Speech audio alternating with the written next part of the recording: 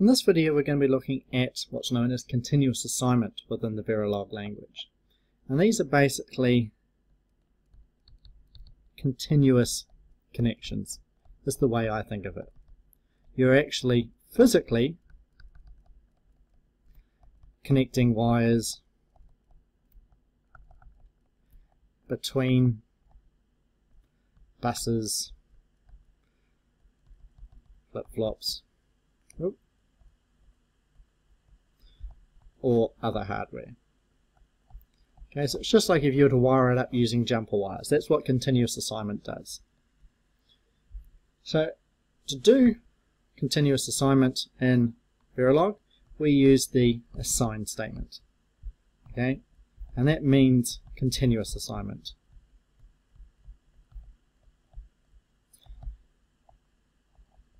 Now, let's do an example. So I'm going to declare wire and it's going to have 9 bits. So it's a bus of 9 bits called sum.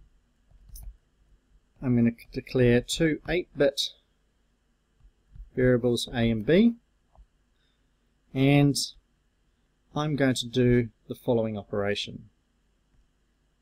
Sum, oh, assign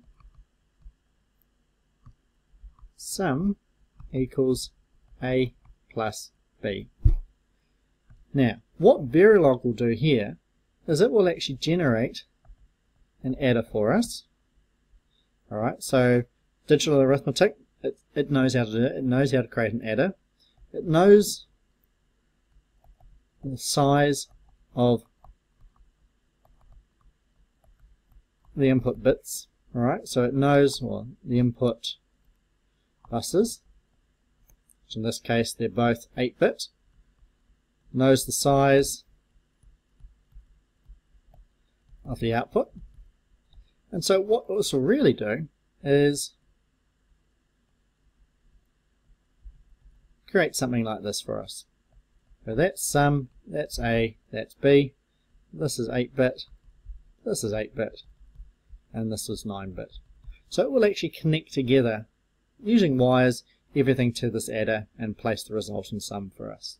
Right, so it's just like a assignment of um, or connecting wires between the adder so that sum connects to the output of the adder. Right, let's have another look at another example. Okay, let's say we've got wire A, B, and C. Alright, I could do something like assign C equals A and B. Right, and that would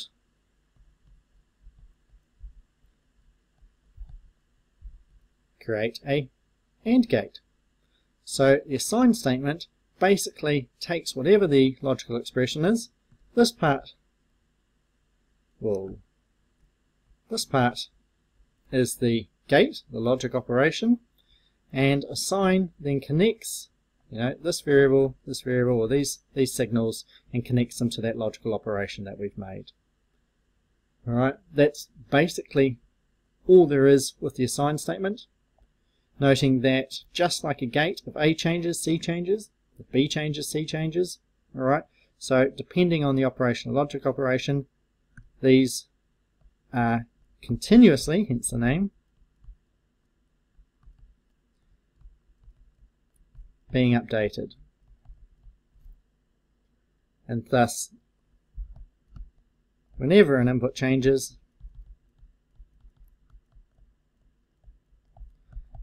the output may change. It doesn't have to depending on the operation, but uh, it may change if, if it's required. So they're being continuously updated just like you'd expect if you'd wired something together. The voltage is changing in the wire, the output's going to be changing at the same time. The other thing to remember is to watch out for, let's say we've got a situation like this, where I go assign b equals a, and assign c equals b. Now, And C, okay, in software, these would happen sequentially. Alright? In software, C is equal to A. First, B gets taken the value of A, then C gets taken the value of B.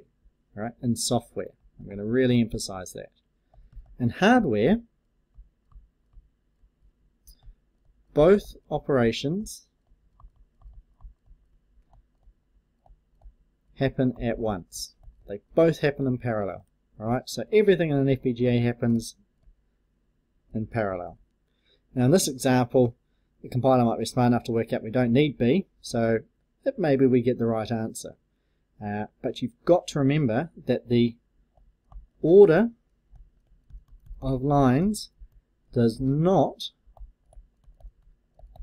dictate or uh, control the order they are executed. Okay, it is not software. So just watch out for that. Right, when you're designing your hardware, you need to think carefully, and this is what's known as a race condition. What happens first? Did that execute first and then this? Did they happen exactly the same time? Mm, it's a little bit, uh, little bit unknown. Alright, so brief summary. Continuous assignment is a continuous connection, physically connecting wires between buses, flip-flops and other hardware. Ooh, got my E.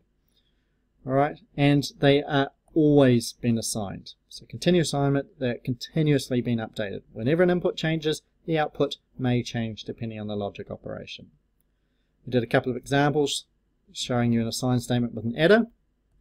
Okay, logic operation here, form the adder, A and B are the inputs, sum the output, and wire, uh, sorry, for this example, the assign statement used to create a AND gate with two inputs. Also watching out that the order that you put your assign statements does not dictate whether or not which order they happen in, right? It's hardware. Things happen in parallel now.